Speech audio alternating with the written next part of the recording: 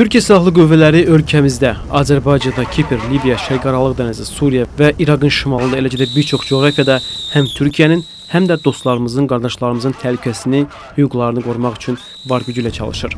Bunu Türkiyənin Müdafiə naziri Hulusi Akar Şərq Aralıq dənizində Deniz Kurdu 2021 təlimlərini müşahidə etdikdən sonra çıxış edərkən bildirib.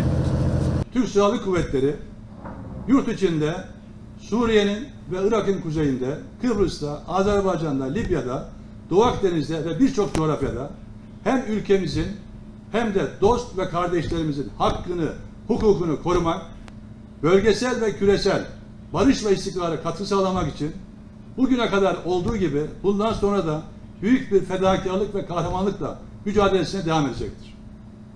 Türk Silahlı Kuvvetleri binlerce yıllık şanlı tarihimizden süzülüp gelen milli, manevi ve mesleki değerleriyle aklın ve bilimin ışığında anayasa çerçevesinde yasalar ve Sayın Cumhurbaşkanımızın direktifleri doğrultusunda sıralı amir ve komutanların emir ve komutasında milletinin emrinde görevinin başındadır.